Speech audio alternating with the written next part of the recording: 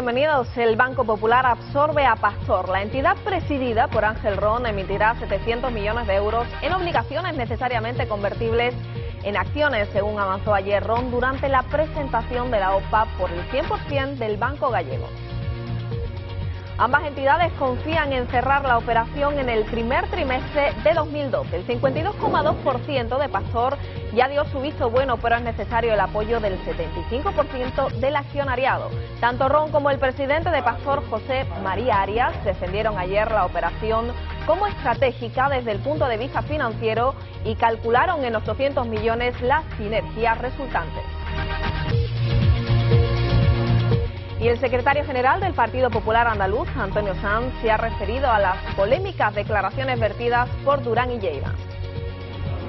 Sanz ha afirmado que desea que haya acuerdo entre los tres grupos políticos en el Parlamento andaluz para reprobar de forma unánime al candidato de CIU Durán y Lleida por decir que los jornaleros andaluces y extremeños reciben un PER por estar en el bar del pueblo.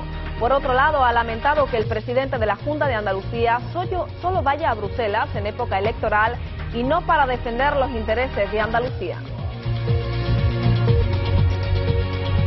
Y los cubanos se dieron cita ayer en el Parque de Berlín de Madrid en la inauguración de las veladas cubanas que comenzarán con un debate sobre la censura periodística y la presión sobre los informadores en la isla. A la inauguración asistió la presidenta de Madrid, Esperanza Aguirre, el ciclo de veladas cubanas organizado por el Observatorio Cubano de Derechos Humanos, entre otras organizaciones, se celebrará el primer lunes de cada mes en Madrid y arrancará con una mesa de debate sobre la censura periodística y la presión sobre los informadores en Cuba. Y conocemos otras noticias del día en titulares. El Partido Popular ha pedido a la vicepresidenta para Asuntos Económicos, Elena Salgado, que no mare más la perdiz y convoque una reunión del Consejo de Política Fiscal y Financiera para facilitar una correcta financiación. Mariano Rajoy podría estar cerca de alcanzar la mayoría absoluta. El candidato del Partido Popular sigue creciendo en intención de votos para las elecciones generales del 20N. Los dos incendios declarados ayer tarde en Barcelona han sido controlados después de quemar unas 6 hectáreas de zona vegetal y forestal, han informado los bomberos de la Generalitat.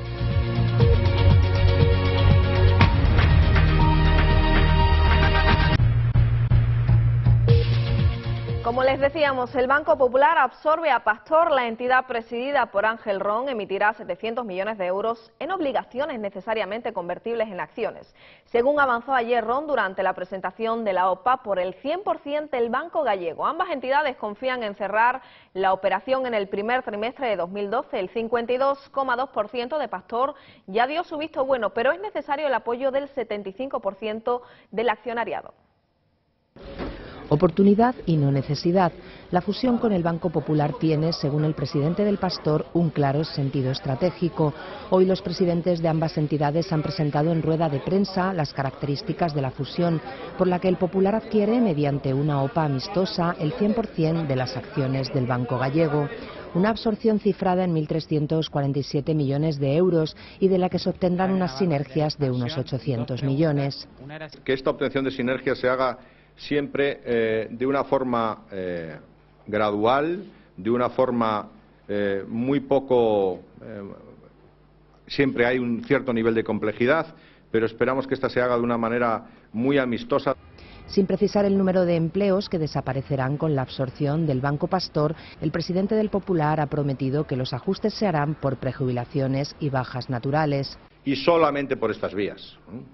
por tanto, va a ser un proceso eh, muy civilizado, que no va a causar traumas de ninguna naturaleza. Los accionistas del Pastor recibirán uno con 115 acciones del Banco Popular por cada uno de sus títulos, un 31% más que el último precio de cotización de la entidad. Pues el Partido Popular ha pedido a la vicepresidenta para Asuntos Económicos, Elena Salgado, que no mare más la perdiz y convoque una reunión del Consejo de Política Fiscal y Financiera el próximo 17 de octubre, pues así facilitará una correcta financiación de los servicios públicos. En estos términos se ha expresado el coordinador económico del Partido Popular, Cristóbal Montoro, durante una conferencia de prensa en la que ha puesto fecha a la reunión del Consejo de Política Fiscal y Financiera que los populares pidieron el sábado pasado con ocasión de la clausura de la Convención de Málaga. El portavoz económico de los populares ha recalcado que en la conferencia de prensa que las comunidades que gobierna su partido actuarán sin improvisaciones y solo conforme al compromiso asumido por todas las instancias de la organización. Firmeza en la lucha contra el déficit. Estamos, por tanto, ante una convocatoria urgente, eh, la petición, la solicitud de que se celebre el día 17 eh, de este mes, eh, el próximo lunes, y, por tanto, no se maree más la perdiz y el Gobierno lo que tenga que hacer es asumir las decisiones o por lo menos asumir las explicaciones que le siguen concerniendo puesto que eh, el que haya adelantado elecciones eh, no le exime en absoluto de su responsabilidad y por lo menos de su responsabilidad de explicar a los españoles que quien está poniendo en duda cómo se financian esos servicios públicos es precisamente el Gobierno de España al no actualizar ni el escenario económico ni los sistemas de financiación de esos servicios públicos. Y cambiamos de asunto, Mariano Rajoy podría estar cerca de alcanzar la mayoría absoluta. El candidato del Partido Popular sigue creciendo en intención de voto para las elecciones generales del 20N, mientras que el socialista Alfredo Pérez Rubalcaba se hunde cada vez más según coincide varios sondeos que publicaban tres periódicos de tirada nacional. A seis semanas de las elecciones generales, El Mundo, La Vanguardia y La Razón analizaban los resultados de los estudios sobre la intención de voto de los españoles que coinciden con la contundencia de la victoria del Partido Popular sobre el PSOE. Así el sondeo elaborado por Sigma 2 para el diario El Mundo calcula que Rajoy conseguiría hoy 193 escaños frente a los 122 que lograría el PSOE, con 71 escaños de diferencia. Por parte del diario La Vanguardia, coincide en señalar que los resultados del 20N serían los mejores resultados de la historia del Partido Popular y una debacle para el PSOE. El sondeo de la razón detalla la victoria de los populares por comunidades autónomas y concluye que el Partido Popular desborda el efecto de las pasadas elecciones autonómicas y municipales y borra al PSOE del mapa electoral al ganar en un 15 de las 17 comunidades.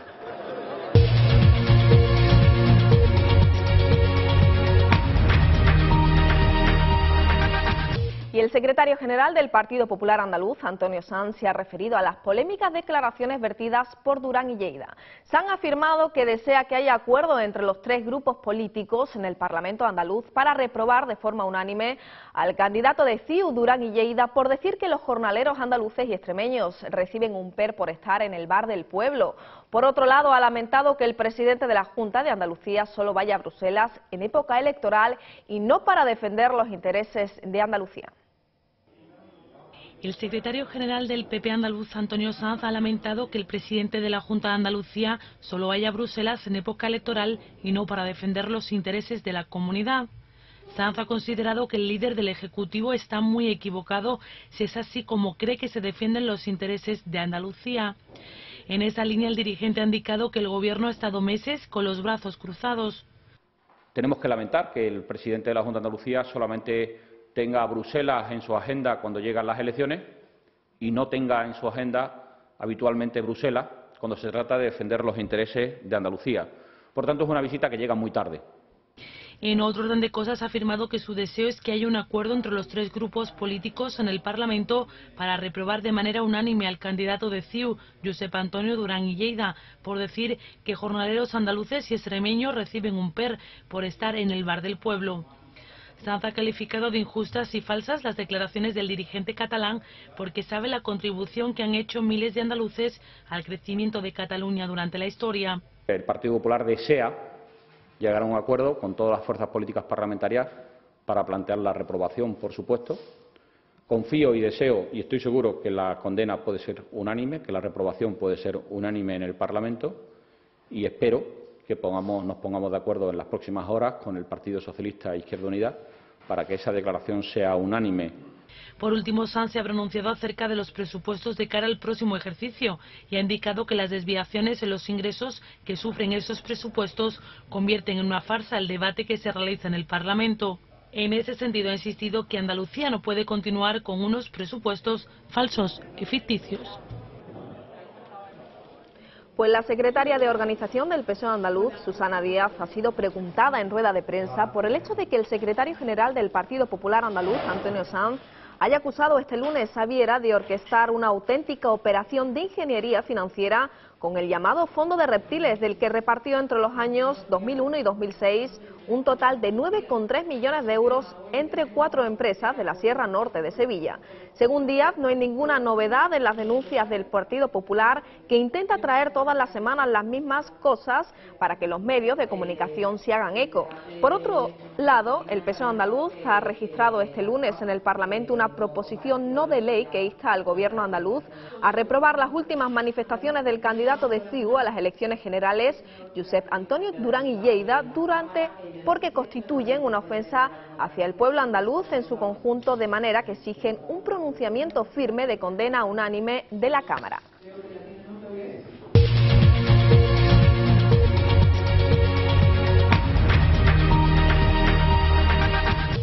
Los cubanos se dieron cita ayer en el Parque de Berlín de Madrid en la inauguración de las veladas cubanas que comenzarán con un debate sobre la censura periodística y la, presión sobre los informadores en la isla.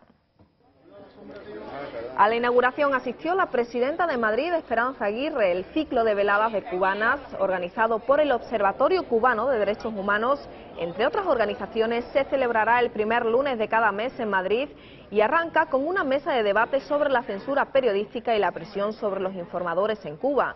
La presidenta madrileña visitó en un pequeño pabellón instalado en el parque la réplica de una celda del penal de Canaleta y condenó la dictadura más larga y cruel de Occidente, la tiranía comunista de los hermanos Castro, que desde hace 52 años mantiene al pueblo cubano. Y quisiera comenzar estas palabras con una firme condena a la más larga y cruel dictadura de la reciente historia de Occidente. La tiranía comunista de los hermanos Castro, que desde hace más de 52 años, 52 años, mantiene a los cubanos privados de sus derechos más fundamentales. Y quisiera también manifestar mi apoyo y solidaridad a todos los cubanos y en especial a los que luchan pacíficamente por los derechos de sus compatriotas y por una verdadera transición a la democracia en su isla. Estos valientes son unos auténticos héroes de la libertad. Queremos que llegue a Cuba pronto la libertad, la democracia y la prosperidad. ¡Viva Cuba libre! ¡Viva! Y cambiamos ahora de asunto. La erupción submarina que se ha producido en la mañana del lunes cerca de la costa del Hierro, a unos 900 metros de profundidad, en el Mar de las Calmas, ha sido provocada por una fractura en una dorsal, un relieve submarino con una importante actividad volcánica que se extiende entre 40 y 50 eh, kilómetros bajo el agua y continúa hasta 6 u 8 en tierra. El vulcanólogo canario Juan Carlos Carracedo ha dicho que la erupción puede formar un cono de unos 100 o 200 metros de altura a la profundidad a la que se encuentra a última hora de la mañana, todavía por confirmar por el comité científico que valora los hechos, nunca llegará a emerger, ha dicho. La posibilidad de que asome una nueva isla es muy improbable, pero sí puede ocurrir que el magma alcance la costa. Una buena noticia a partir de ahora, porque los terremotos en la isla serán mucho más suaves. Y por otro lado, los dos incendios declarados ayer tarde en Barcelona han sido controlados después de quemar unas seis hectáreas de zona vegetal y forestal, han informado los bomberos de la Generalitat. El primer incendio se ha declarado sobre las 13.50 horas y ha quemado unas 13 hectáreas en Duró, en Tor, en el punto del kilómetro 7.2 de la carretera de Roca de Vallés, lo que ha supuesto un peligro en el tráfico en ese punto de la red viaria sin mayores consecuencias. A pesar de haber sido controlado el fuego desde primera hora de la tarde, los bomberos siguen remojando la zona para contener las áreas más incendiadas, pero ya no existe observatorio de las llamas en superficie. Y agentes de la Policía Nacional están intensificando la búsqueda de los dos niños de 2 y 6 años desaparecidos el pasado sábado en un parque de Córdoba, mientras se encontraban bajo la vigilancia de su padre sin que se hayan encontrado indicios de su paradero. La búsqueda de los niños de Córdoba sigue los rastros hallados en esta vivienda de un familiar del padre de los pequeños. La finca se encuentra en el polígono de las Quemadillas. La policía científica ha recogido muestras en esa casa y ahora sus análisis podrían ayudar en la investigación. Los menores, Ruth y José, de 6 y 2 años, desaparecieron de un parque de Córdoba el sábado, según el testimonio del padre, que estaba al cuidado de ellos.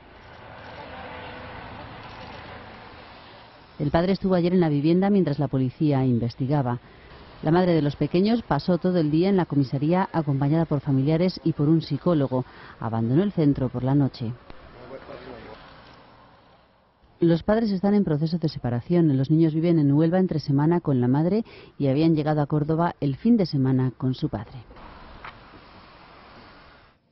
Y un problema en las comunicaciones del sistema informático de los registros civiles ha provocado que los almerienses que intentan realizar sus trámites se enfrenten a retrasos infrecuentes en este organismo, lo que hace que en ocasiones se vean obligados a esperar en la calle mientras el número de certificados de nacimiento tramitados, por ejemplo, desciende respecto a las cifras habituales. El registro civil ubicado en la nueva ciudad de la justicia de la calle Padre Méndez está acumulando diariamente largas colas debido a los errores informáticos que se están generando en el programa con el que se trabaja en este departamento. Silencio, silencio. Ellos dicen que son problemas puntuales, pero la verdad es que los compañeros pues están cada vez peor porque el, público no puede ser atendido. Tú date cuenta que el registro civil atiende diariamente a eh, pues, unas 200 personas. Si la aplicación no responde, no se le puede atender, no pueden hacer certificaciones, no puede haber bodas, no puede hacer inscripciones de nacimiento ni de funciones, porque no se puede pedir esa certificación. No se pueden hacer incluso consultas puntuales de una certificación de que alguien está inscrito, porque en ese momento se te queda colgado el programa. Desde el Sindicato de Trabajadores de la Ciudad de la Justicia aseguran que diariamente se forman colas de hasta 200 personas que deben esperar para ser atendidos al día. Los funcionarios denuncian que los usuarios del registro les reclaman explicaciones y que ellos no saben qué hacer porque no es su culpa. Eh, claro, la gente evidentemente se queja porque no se puede llevar la certificación, no puede hacer la inscripción y pero nosotros le decimos pon una queja, pero claro, ellos pues dicen no, ya vengo mañana y no ponen la queja, pero eh, verbalmente sí nos llevamos nosotros el enfado de la gente, evidentemente. Pues sí, normalmente la gente espera, espera un poco a ver si se arregla el programa, hay que estar dando explicaciones constantemente, pero, pero nada, también le decimos que abrimos por la tarde y todo, pero aún así se va una vez y otra vez y otra vez y no podemos darle soluciones. Este sindicato anuncia que ni Madrid ni Sevilla les están aportando soluciones a este problema y amenazan incluso con hacer una jornada de huelga. Y el bajo nivel del embalse de Yesa, debido a la escasez de lluvias caídas en los últimos meses, ha vuelto a dejar salir a la superficie las ruinas de Tierma. Se trata de un, antiguo balneario del que siguen manando aguas sulfurosas que muchos aprovechan en su tiempo libre para el baño terapéutico. El bajo nivel del embalse Navarro de Yesa ha vuelto a dejar salir a la superficie las ruinas de Tiermas y con ellas el antiguo balneario del que hoy siguen manando aguas sulfurosas a más de 30 grados. Aguas que muchos aprovechan estos días de octubre para darse un baño terapéutico en este peculiar paisaje que combina edificios en ruinas y una gran poza de agua. Mientras unos optan por un relajante baño caliente, otros embadurnan con barro la cara y el resto del cuerpo en busca quizás de las propiedades curativas que dicen tiene contra la artrosis, el reuma, el estrés y los problemas de piel. En la zona ya existía un balneario que aprovechaba las aguas termales que surgían desde tiempos de los romanos, pero en 1959 fue inundada por el cierre de las compuertas del embalse de Yesa, que de vez en cuando nos vuelve a regalar momentos como estos.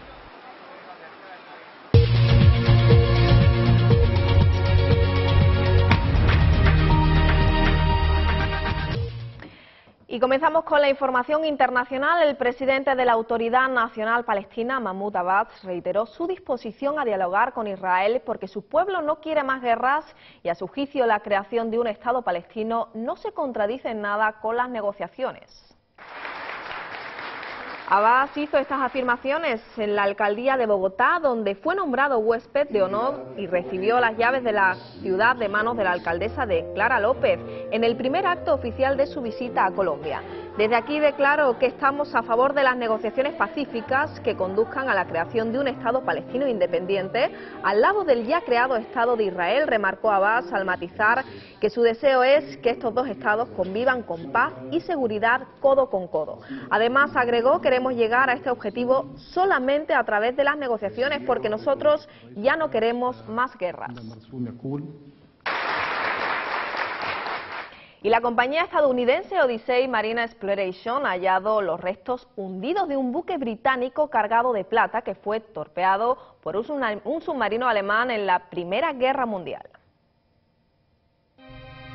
94 años después de su hundimiento fue encontrado el barco SS Mantola y dentro de él un gran tesoro, unos 19 millones de dólares que fueron encontrados a 2.500 metros bajo el nivel del mar en el Atlántico Norte.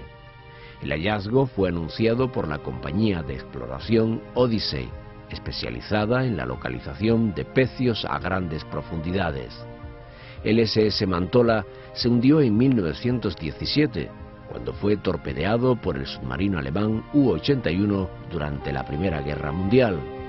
La compañía prepara ahora una expedición para tratar de recuperar la plata que transportaba la embarcación que podría llevarse a cabo en la próxima primavera, cuando mejoren las condiciones climatológicas en esa zona del Atlántico Norte. Conocemos ahora el tiempo para las próximas horas.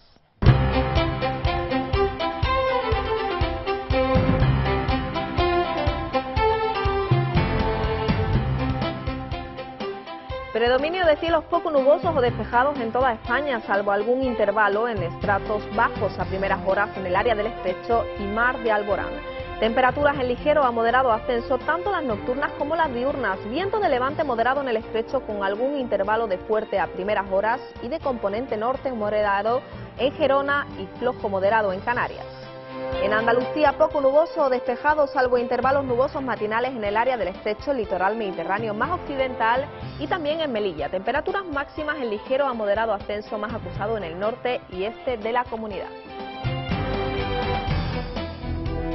Y Fuerza Bruta es un espectáculo único e irrepetible que se estrena hoy en el Teatro Circo Prince, donde y procede de Nueva York. El espectáculo se estrenó en 2005 en Buenos Aires y desde entonces ha recorrido Nueva York, Londres, Lisboa, Bogotá, Miami y Edimburgo, lugares todos ellos donde ha conseguido un gran éxito de crítica y público según sus productores. Bailarines voladores, secuencias que rozan lo onírico y una gran piscina de agua sobre las cabezas del público situado en medio del escenario y en el centro de la acción.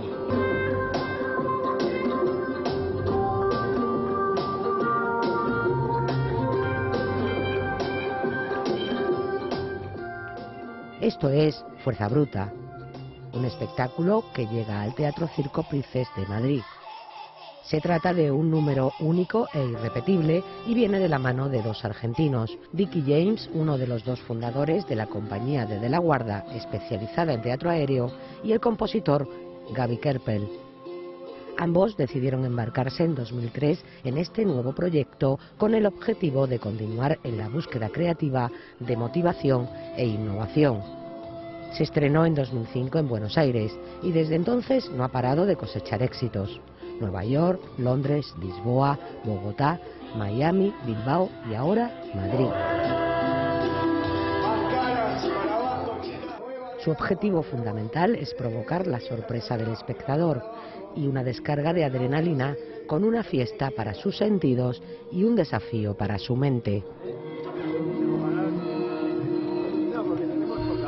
Y con el espectáculo les dejamos hasta mañana a la misma hora. Recuerden que podrán seguir informados en nuestras siguientes ediciones. Sean felices.